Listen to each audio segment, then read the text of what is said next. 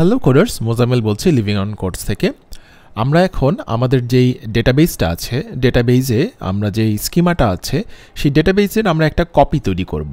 কেন কপি তৈরি করব? কারণ আমরা আসলে কিছু টেস্ট স্যুট লিখব এবং টেস্ট স্যুটগুলো আমরা চাচ্ছি যে আমাদের রিয়েল যে ডেটাবেসটা আছে, সেটাতে কাজ না করে একটা কপি ডেটাবেসে কাজ করবে।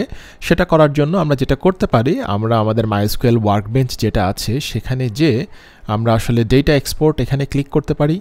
ডেটা এক্সপোর্টে যে আমি ডিরেক্টলি স্প্রিং টিউটোরিয়াল যদি আমি সিলেক্ট করি সিলেক্ট করে আমি এখানে চলে যেতে পারি যে এটা কোথায় করবে এক্সপোর্ট টু ফোল্ডার এখানে আমি একটা ফোল্ডারের নাম দিয়ে দিই। ডকুমেন্টসের ভেতরে আমরা করতে পারি। ঠিক আছে। প্রজেক্ট ফোল্ডার ডকুমেন্টসের ভেতরে আমরা সেলফ কন্টেন্ট ফাইলের ভিতরে করি, তাহলে মনে সুবিধা হবে না।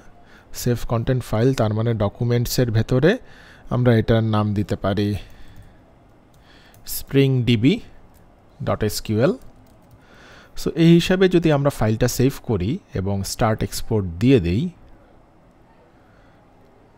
তাহলে আমরা দেখতে পারব যে আমরা যদি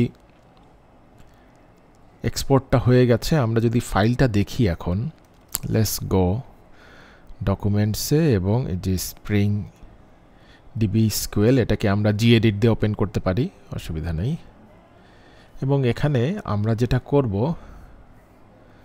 আমরা এইখানে এই যে স্প্রিং টিউটোরিয়াল যে নামটা আছে আচ্ছা এখানে আমরা কি করছি? আমরা কি স্কিমাটা তৈরি করছি? আচ্ছা আমাদের এসকিউএল ফাইলটাতে আমরা দেখছি যে আমরা এখানে ডেটাবেসটা ক্রিয়েট করছি না, কারণ আমরা খুব সম্ভবত ওখানে বলে দিইনি যে আমরা ডেটাবেসটা ক্রিয়েট করতে চাই। আমরা এটাকে আবার ডিলিট করে দিই। আমরা যদি আমাদের মাইস্কুয়েল বেঞ্চে যাই, আমরা যা দেখছি যে আমরা ডেটা এক্সপোর্টে এখানে বলে দিতে পারি যে include create schema this is important তো আমরা আবার স্টার্ট এক্সপোর্ট করে দিলাম। এক্সপোর্ট হয়ে গেছে, নিশ্চয়ই। আচ্ছা এটা ডকুমেন্টসে তো আসেনি।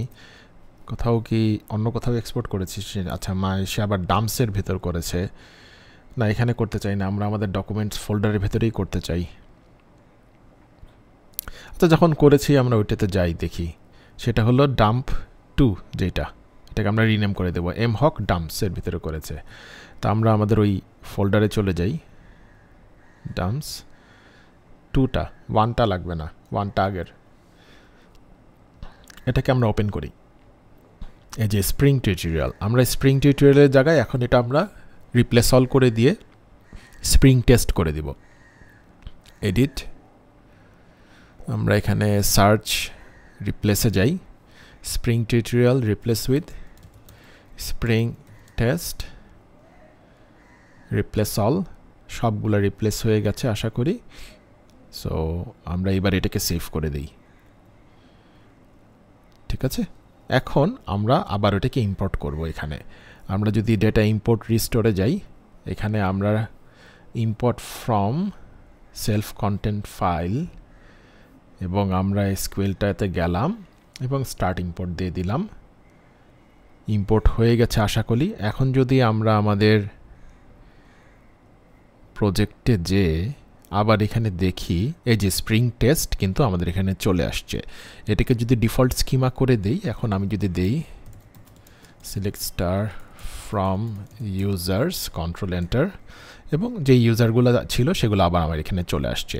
সো এইভাবেই আমরা আসলে আমাদের ডেটাবেজের একটা কপি তৈরি করে ফেললাম। তো নেক্সট টিউটোরিয়ালে আসলে আমাদের এই কপি করার ডেটাবেজের উপর আমরা কিছু টেস্ট কেসেস চালাবো। So that's it for the time until next time happy living on course